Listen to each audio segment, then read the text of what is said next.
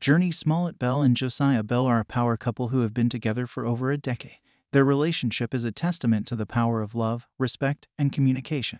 Jurnee and Josiah met in church when they were teenagers and started dating soon after. They got married in 2010 and have since been inseparable. The couple has been through many ups and downs, but they have always supported each other through it all. Jurnee is a successful actress, known for her roles in Lovecraft Country and Birds of Prey, while Josiah is a musician and producer. They both share a passion for social justice and are actively involved in various charitable causes. Despite their busy schedules, Jurnee and Josiah make time for each other and their two children. They frequently share adorable family moments on social media, showcasing their love and commitment to each other. Jurnee Smollett Bell and Josiah Bell are a beautiful couple who inspire others with their love and devotion to each other. Thank you for watching. Make sure to subscribe for more.